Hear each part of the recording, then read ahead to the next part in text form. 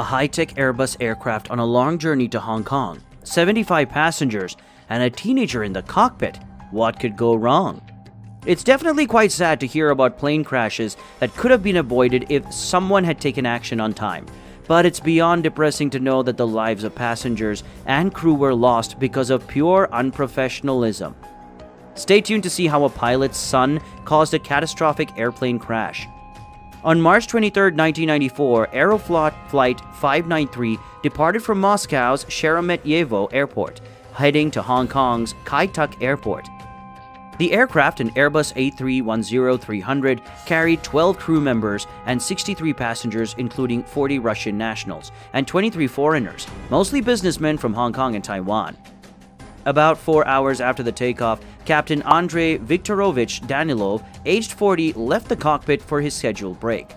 In his absence, the relief pilot Vladimirovich Kudrinsky, aged 39, and First Officer Igor Vasilievich Piskaryov, aged 33, took control.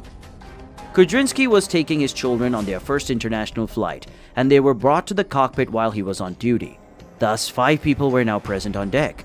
Kudrinsky, First Officer Piskaryov, 16-year-old Eldar, 12-year-old Yana, and Vladimir Marakov, a pilot flying as a passenger on this flight.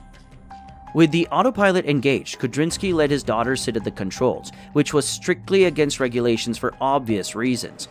He then adjusted the autopilot heading to give her an impression that she was turning the plane left and right, though she actually had no control of the aircraft.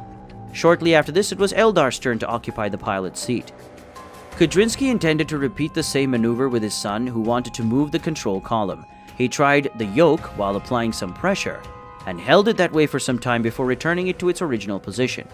Meanwhile, co-pilot Piskaryov held the yoke from his seat, as control had not been transferred to him.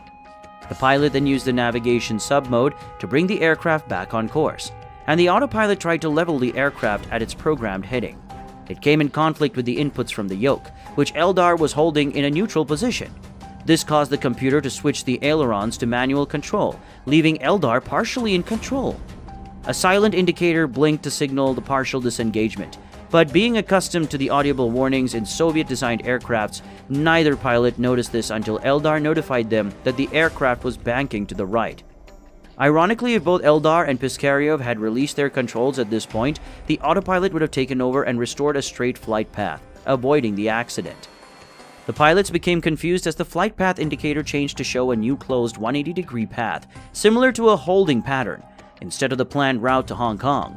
Within 9 seconds, the aircraft's bank angle steepened to almost 90 degrees. The Airbus A310 design didn't allow such a steep bank angle, and the aircraft began descending rapidly. Keep watching to witness the series of decisions which made the safe recovery of this aircraft impossible. The increased G-forces on the pilots made it difficult for them to regain their positions, while Piskaryov tried his best to control the buffeting plane. The autopilot, which no longer controlled the ailerons, used its other controls to compensate by increasing pitch and thrust. As a result, the aircraft entered a stall and the autopilot disengaged completely. To recover from the stall, an automatic system lowered the nose and put the plane into nosedive. Despite managing to level the aircraft, the first officer overcorrected while pulling up, causing the plane to stall and enter into a spin. By the time both pilots managed to level out the wings once more, it was too late, and the altitude was too low to recover. Subsequently, the aircraft crashed into the Kuznetsk Alatau mountain range in Kemerovo Oblast, leaving no survivors. The news of the crash reached Moscow within 24 hours, and the people angrily demanded answers. The disappearance of the two-year-old plane just beyond the Mongolian border without any emergency signal raised suspicions of an explosion or collision with a foreign object. Although Aeroflot continued to deny that the children were present in the cockpit, the truth came to light when sound recordings were leaked to the public.